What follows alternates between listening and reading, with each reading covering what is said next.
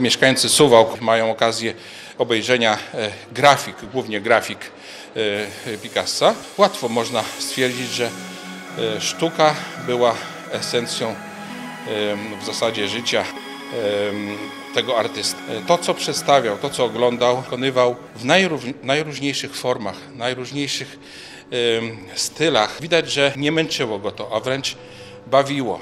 Sam stwierdzał nawet, że nie interesuje go sztuka, która jest ładna, tylko do dekoracji. Sztuka musi być użyteczna, mieć to coś.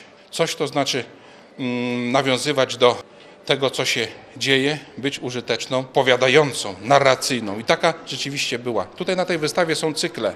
E, Cykl Suita Wolarda, e, zamówiona przez Ambroa Wolarda Marszanda w 1933 roku. Tematy głównie to, co się działo w pracowni artysty.